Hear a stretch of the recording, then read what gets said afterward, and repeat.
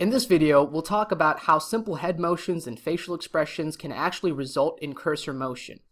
So when you want to move the mouse using the Smyle Mouse software, there are actually two mouse motion modes to select from.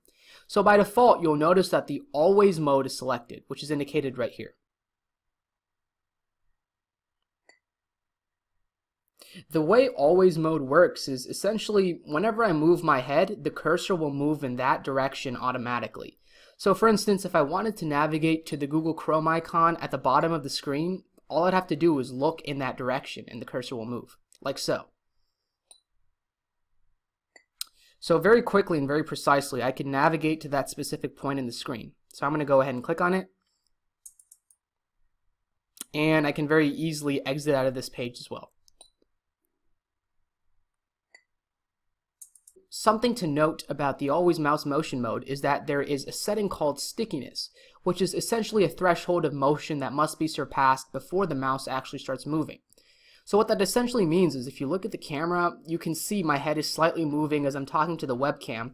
In fact, I can even move my head slightly to, to demonstrate this point. Even as I'm moving my head, the mouse isn't necessarily moving. So this threshold that must be surpassed before the mouse actually starts moving that can be configured in our settings panel, and it is referred to as stickiness. The other mouse motion mode to select is with smile. I'm going to go ahead and select that.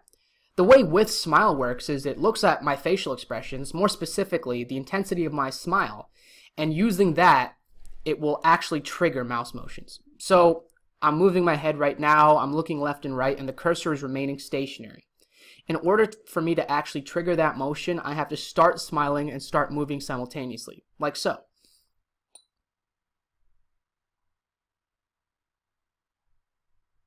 You'll notice this meter at the side of the screen as well. This meter represents the intensity of my smile. I'm going to go ahead and click on some additional icons just to demonstrate the level of precision one can achieve with the with smile mode as well. I'm going to click on that icon. Maybe go to the store. And I'm going to exit out of this window as well. The amount of time that you actually have to hold a smile before the software picks it up can also be configured in our settings panel as well. The final thing to note about this mode is that the user doesn't necessarily have to hold that smile after the mouse starts moving for it to continue to move.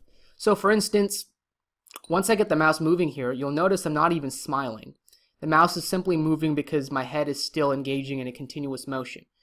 But when I remain stationary and the software realizes I'm no longer smiling, then it'll stop.